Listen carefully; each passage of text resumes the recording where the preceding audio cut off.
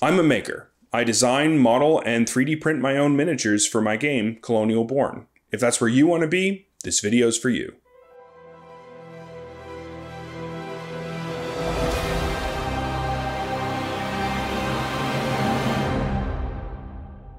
I was not a maker, heck, I wasn't even a 3D modeler this time last year. Now I'm making models that look like this. What I'm not saying is that everyone can get this good in a year. God knows I've had 15 years experience in the animation industry behind me, plus 3 years of art school. The knowledge and the experience is one thing. That takes time.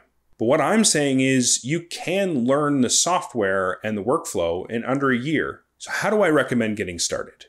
I see two ways of moving forward.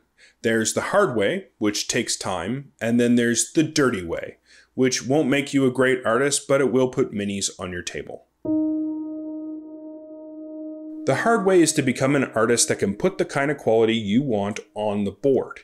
It's a hard fought process of self discovery and artistic development that's best learned at an art school. But if art school isn't for you, you could also look around for a life drawing session in your local area. I live in the boonies and they're around me. My recommended reading is to start with George Bridgman's Life Drawing and Constructive Anatomy, then move to Mike Mattesi's Force, Dynamic Figure Drawing, which he has a fantastic website about, and then round out those skills by poring over Burne Hogarth's Dynamic Figure Drawing, which you'll never appreciate as a novice, but it will hit you like a brick once you start moving past the basics. Ask the person who's running the session what it is that you should be bringing and what the etiquette is in that room.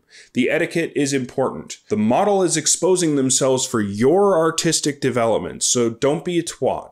Respect the model, respect the room. It's just a privilege to be there. Then move on to sculpture.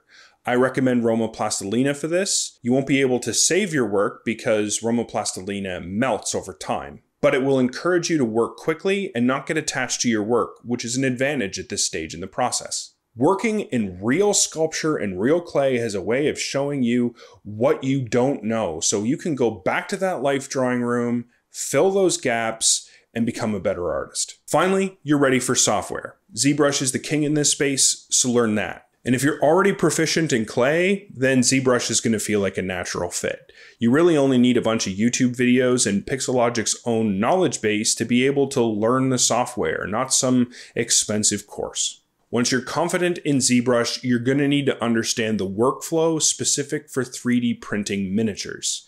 For that, there's this wonderful course by Print and Play's Alex Zaragoza. I'm really hoping that I pronounced your name right. Watch it. It's the only video you're ever going to need on this stuff. Then pick up some slicer software. I use Lychee. There's lots of others on the market. They're very easy to learn. And slice your model. Okay, so you're not in for the long journey of becoming an artist and you just want to print something. For some reason, what's on My Mini Factory is not what you're looking for. So you want to do the down and dirty way so you can get something on that table. Here's how you do it you buy models, you cut them up, and you kit bash them. It's the digital equivalent of buying miniatures from your local hobby store and cutting them up and putting them together.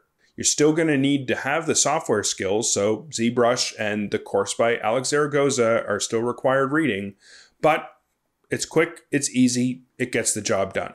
Where do you get the models? Well, you can follow the Patreons that are out there. You can go to my mini factory and grab the stuff that's on there. But my personal preference for kit bashing would be to go to a marketplace like ArtStation, where people sell parts specifically for the purpose of kit bashing 3D models. You can find better base meshes on there, more flexible character designs, and you can put your own parts on them. The one thing I do not endorse doing is going onto ArtStation and grabbing a whole bunch of work by underpaid artists, kit bashing it, and then throwing it on my mini factory to make a few coin. It's unethical, it's dirty pool, don't do it. If you want to sell miniatures, learn how to make them the hard way. I hope this video set you on the right path to being able to do what you want to do with 3D printing, but I would ask you, please support me in turn. Like, subscribe to my channel. YouTube only likes me if you do.